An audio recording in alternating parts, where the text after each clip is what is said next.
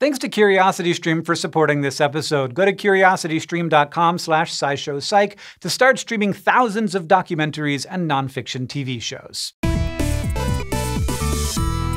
Our immune system is an interconnected network of organs, proteins, and cells that protect our bodies from all the things that can make us sick. It's the biological equivalent of Gandalf the Grey telling germs, you shall not pass. So yeah, it's pretty critical to our physical health, but it turns out it might play a big role in our mental health too. And by understanding the connections between our immune systems and our brains, we can start developing more effective treatments for mental health conditions and help destigmatize them in the process. This entire field of research, now called psychoneuroimmunology, really began in the 1980s when some clever experiments revealed that activating somewhat random parts of the brain, like the sense of taste, could influence immune reactions. That led to a flurry of studies on how brains can affect immune health. And over time, scientists realized that the relationship was more of a two-way street. So nowadays, we have the subfield of immunopsychiatry, which focuses on the ways our immune systems affect our brains. And that research is increasingly supporting the idea that immune reactions, like inflammation,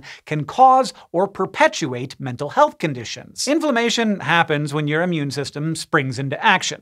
Basically, it's when white blood cells, which are essentially the body's, you know, like bodyguards, swarm to an area that needs protection from germs, like an infection site or a wound. Calling in the white blood cell cavalry can cause swelling and pain, and it increases the blood flow to the area, which tends to make it warmer and redder. All of which was apparently reminiscent enough of fire that the old-timey doctors called this inflammation. Now, inflammation is usually a sign that your immune system is doing its job, and it's not a big deal if it's acute or temporary. I mean, the soreness of a scraped knee or a swollen bug bite is definitely uncomfortable, but it means your body is healing, and it goes away fairly quickly. Sometimes, though, inflammation goes on much longer. Chronic inflammation can stick around for months or even years, and it can happen even though there's no real enemy there to fight. All too often, chronic inflammation stems from an autoimmune condition, where the immune system just kind of starts attacking parts of the body. And this is where immunopsychiatry really comes into play, because it turns out that chronic autoimmune-related inflammation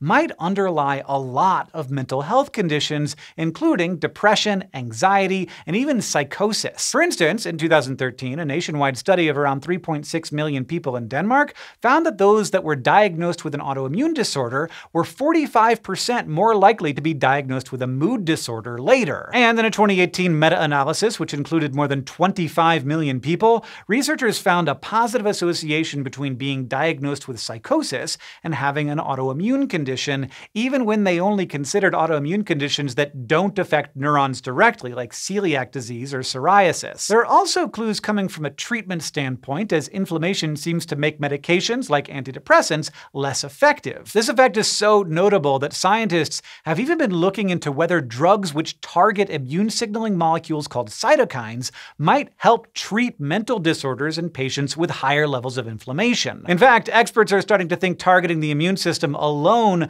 might be enough to treat certain mental health conditions. For instance, a 2019 meta-analysis found that non-steroidal anti-inflammatory drugs might be an alternative for treating major depression and schizophrenia. But these treatments are still in the research phases, and the drugs definitely haven't proven proven effective in clinical trials yet. Plus, those medicines can carry serious risks, like the increased possibility of heart attacks, strokes, and kidney damage. So while we're learning a lot about how inflammatory immune responses can affect our mental health, these new treatments aren't ready for prime time. And even if they were, it's worth remembering that any potential treatment plan should be discussed with a medical professional, as your unique brain and body need to be factored in. Immunopsychiatry researchers are now trying to pin down exactly how the immune system has such a big impact on the brain as that could lead us to safer, more effective options. That seems to come down to how proteins and other chemicals used by the immune system affect brain cells. For instance, in a study published in Psychopharmacology in 2015, researchers examined whether the proteins present in long-term low-grade inflammation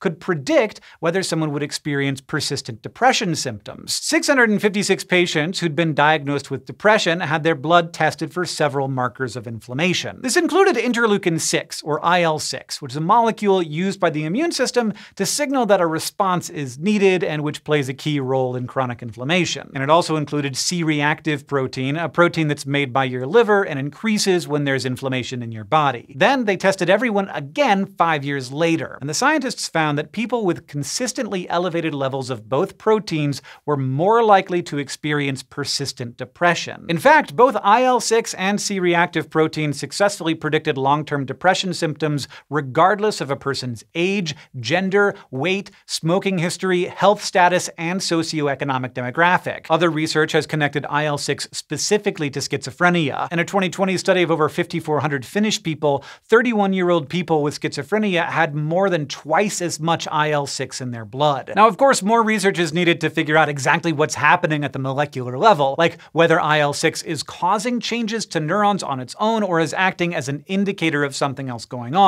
That would tell drug developers precisely what to go after. In the meantime, the continuing deepening of our understanding of how mental health conditions can stem from our bodies could go a long way toward reducing social stigmas. So many of us have been taught that psychological issues aren't linked to the rest of our bodies, we now know that that just isn't true. Physical changes can affect how our brains work, and psychological issues can change our bodies. The connection between the immune system and the brain is just one example. And destigmatizing mental illness can encourage people to get help today while we wait on the treatments of tomorrow. If you love learning about the brain or just learning in general, then you will probably love today's sponsor, CuriosityStream. They're a subscription-based streaming service with thousands of documentaries and nonfiction TV shows, including some really neat ones about the brain. You could check out their Curious Minds series on brain health, for instance. Each short episode looks at a different aspect of neuroscience, like how babies' brains work or why teens sleep so much. And it's a